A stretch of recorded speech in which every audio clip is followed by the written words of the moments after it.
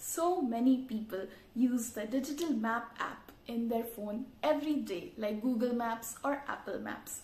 If we choose the public transport option, then various route choices are shown for the same start and end location. Some route choices have walking, some with bus, some with cycle, and some are a combination of various modes like let's first take a tram, then take a bus, then walk. We travel every day but do not think about how much it contributes to the global warming. What if you could also see the carbon footprint of each of those route options? Then probably you will be motivated to take the most sustainable option and in general you will be more aware of the carbon footprint due to your everyday travel. So my idea is a sustainable mobility planner app when you enter a start and an end location, it shows various route options, each with its own carbon footprint. You can choose any of the route, but the app rewards you for choosing the most sustainable travel route. More the sustainable route is, more points are added to your account, which you can use to get discounts at various partner outlets.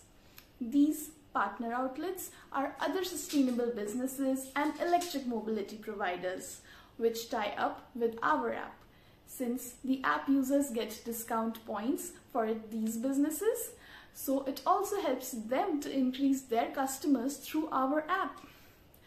The idea is new as currently no app exists that will let you check the carbon footprint for various travel choices available to you. Carbon footprint of your trip is the total carbon emissions caused due to the various modes of transport that you used for the commute. For fossil fuel powered vehicles, it is directly the exhaust emissions. For electric vehicles, there are zero emissions. But if these vehicles were charged with electricity from non-renewable sources like coal-powered plants, then still the usage of the vehicle contributes indirectly to carbon emissions. This app will show you total carbon footprint considering emissions at electricity production and emissions at vehicle exhausts.